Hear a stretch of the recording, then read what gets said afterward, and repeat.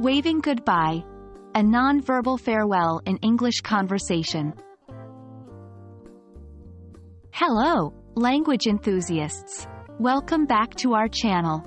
Today, we will be focusing on an essential aspect of English conversation, the non-verbal farewell, specifically, waving goodbye. Waving is a common, universal gesture, but let's explore how it works in the context of English-speaking cultures. A wave is a non-verbal way to express a variety of sentiments.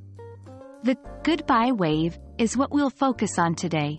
Typically, this involves raising your hand and moving it from side to side. It's a warm, friendly gesture to conclude your conversations and interactions. It's worth noting that there isn't any strict rule on which hand to use, but it's generally more common to wave with your dominant hand. It's important to understand that context plays a huge role in nonverbal communication.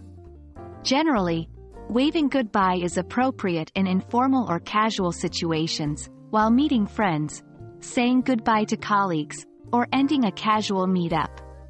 In professional or formal situations, it's usually better to stick to verbal farewells and handshakes. However, a wave can be appropriate in these contexts as well if the environment is more laid back.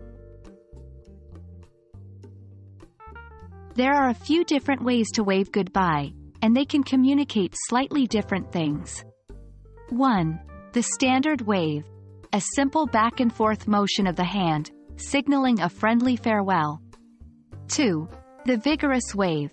A more enthusiastic version of the standard wave, this can indicate excitement or urgency. 3. The one-finger wave. Common in certain regions, this subdued wave can be a casual, low-effort way to acknowledge someone's departure. 4. The Queen's wave. A side-to-side rotation of the hand or wrist. It's often seen as a more elegant or refined wave, named after Queen Elizabeth II's iconic waving style. Remember, these are not rigid rules but cultural observations. Different people, regions, and cultures might have their own nuances. And that's it. We've gone over the basics of waving goodbye in English conversation.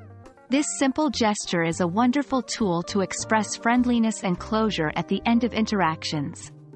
We hope this lesson helps you in your journey towards mastering English communication skills. Remember, practice makes perfect. So don't shy away from using a wave the next time you're saying goodbye. Keep learning and keep practicing, and we'll see you in our next video.